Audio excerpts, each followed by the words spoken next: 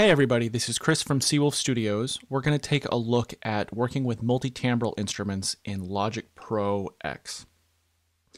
First off, a multi-timbral instrument is a software instrument plugin that allows for multiple MIDI inputs and discrete stereo or mono audio outputs. And the thing that's great about multi-timbral instruments is they allow for greater CPU efficiency. You can have 16 instruments loaded up into just one instance of a plugin rather than having to have 16 instances of that same plugin. Um, Kontakt by Native Instruments is the one I'm going to be working with today, though the rules apply to any multi-timbral software instrument. So uh, first thing we want to do is create a software instrument track and check multi-timbral. And again, you can have up to 16. Um, and when I click create, it creates 16 tracks, though all of these tracks service the same instrument instance. So if you notice, they're all called instrument one. And as I scroll through them here and pop open the track information area, look right here, MIDI channel 1, MIDI channel 2, MIDI channel 3, and so on, all the way down to 16. So Logic has automatically created 16 tracks that feed into one instrument instance. So now I'm going to load up Kontakt. And I want to create an instance of Kontakt that has multiple stereo outputs. So I'm going to use this one right here, multi-output 16 stereo outputs. And now that that's loaded up, um, it's loaded up for all my instruments here. So I'm going to go over and load up some instruments from this library that I have here. This is the First Call Horns library by Big Fish Audio. And it has a collection of saxophones, trumpets, trombones, stuff like that. So let me load up some instruments. I'm going to create an alto sax, and you'll notice it loaded up to receive from MIDI channel 1, and it's outputting to stereo 1. Then let me go in and create a tenor sax.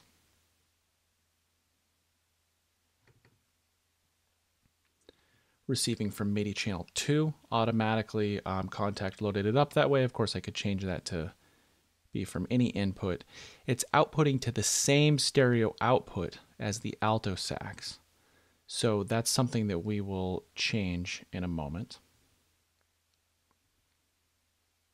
Baritone sax on channel 3 and I certainly don't need to load up 16 to give you an idea. So let me just load up one more and we'll have four.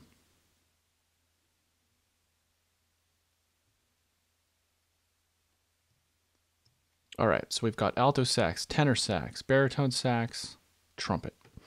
And um, these are receiving from MIDI channels one, two, three, and 4. So I only need four instrument tracks. Let me delete these.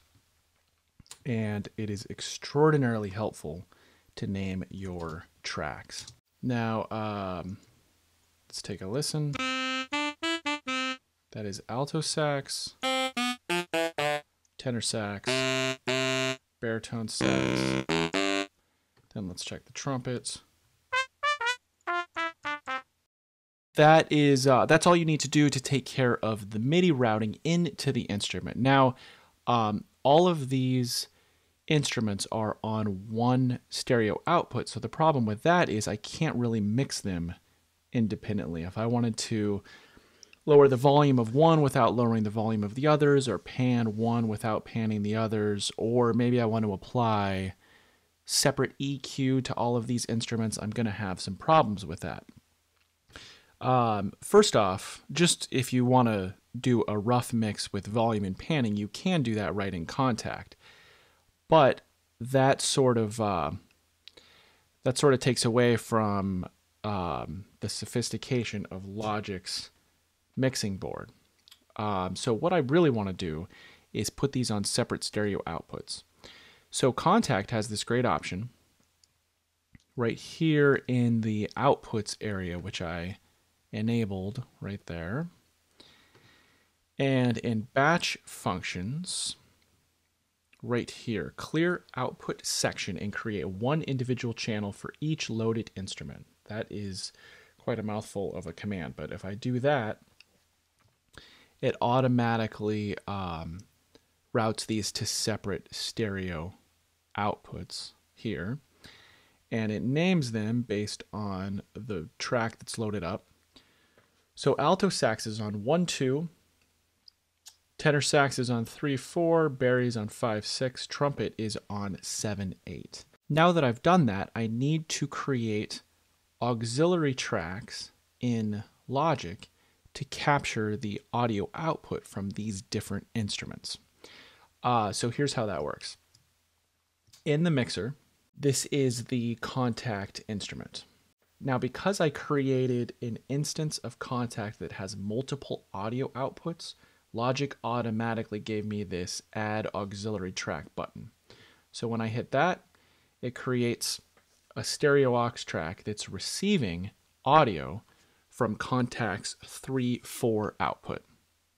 So let me hit that a couple times, and you'll notice now I've got Kontakt 3 4, 5 6, 7 8. So that is a beautiful thing. Uh, now, what that means is that the original Kontakt instrument is going to be the alto sax.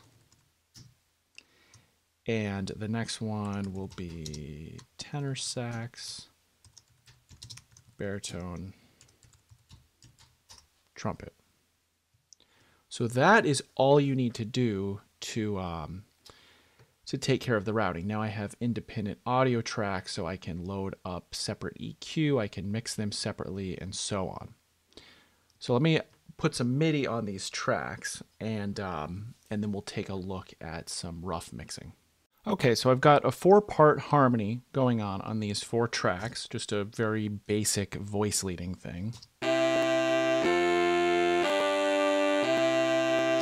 First of all, quick little shortcut command, Shift Option N changes my region names to the name of the track. So that can be really helpful. Um, so in the arrange window here, these are still, these MIDI channels are all routed to the same instrument. So I have very little flexibility with muting and soloing, as you can see here. So what I need to do is um, I can solo and mute these tracks independently in the mixer here. Um, so if you wanted that capability inside the arrange window, you have to create tracks for these auxiliary channel strips. Now that also goes for if you want to have automation on these tracks. If you want to have the volume come up and down, or if you want to automate anything on those tracks, you have to create um, you have to create something in the arrange window for those. So I can select these tracks, right click on them and say create track. And uh, this, it gets to be messy because you unfortunately now need to have two tracks for everything.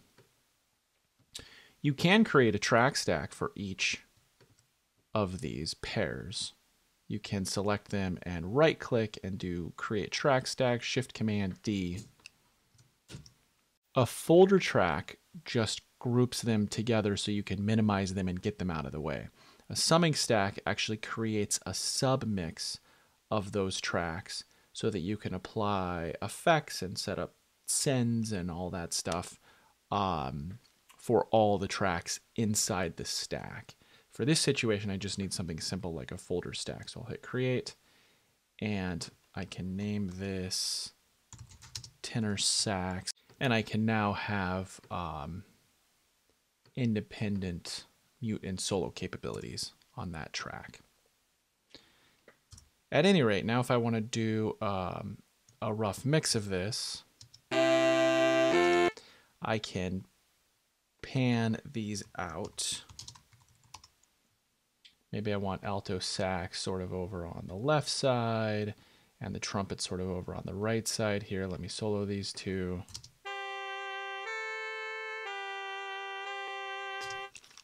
Then I can certainly adjust volume accordingly.